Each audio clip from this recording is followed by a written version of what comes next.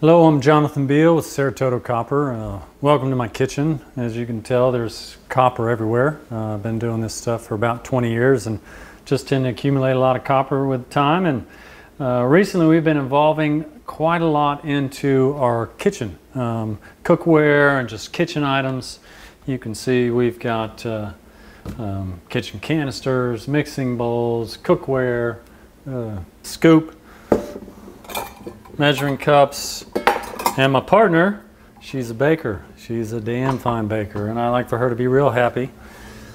And she broke her glass mixing bowl on her KitchenAid Professional Series mixer. And I said, well, let's just make one of those out of copper. So we took it down to the shop, we got all the specs and just how those things work, and came up with a copper KitchenAid bowl because copper Nothing is finer if you're trying to whip up something light and fluffy and you're using eggs, like a meringue, maybe a oh, Swiss buttercream meringue, icing. Um, you want to make fluffy omelets, anything you want to make, and you want to make it fluffy with eggs, you want to use copper. There's something scientific or magic about the way copper interacts with egg whites especially. Um, it actually is an interaction between copper and albumin, which is the protein in there. And what it does is it allows for that protein to become more elastic, stretchy, which means that you're going to get peakier egg whites, fluffier eggs, fluffier omelets, fluffier pancakes, whatever you're going to do, it's going to be fluffier because those proteins are going to allow to hold more air and hold more space and just hold um, together more before reaching that point that they break. Um, it's a similar thing for the copper, which is uh, where we anneal it, which allows for more elasticity with the copper for to that structure. And basically what we did here is we just made this piece. You've got You've got your tabs, you've got your dog ear tabs.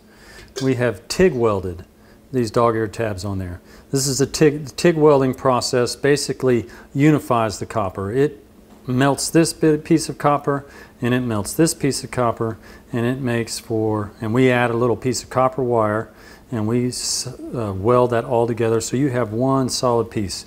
You are going to tear this bowl apart before you tear this tab off of um, your KitchenAid, your copper mixer for your KitchenAid. Um, again, here what we have is the nipple that fits in on the attachment that holds this piece on there. Here's the two arms that hug this beautiful bowl. Little pour spout handle, copper handle for grabbing hold of this thing. So what you've got here is these two tabs. I like to drop it in on one, push it in on the other. That nipple is going to engage with this steel tab on the back. And you just lock it into place. There you go. And I, of course, already made some kind of mistake. You got to put this thing on first, you know. You see, I, I don't use this thing, but put this on before you put the bowl on is, is my advice. Um, and then lock it up. You're ready to go. I'm not ready to go. I just make the bowl. But if you cook and you do stuff, you're ready to go.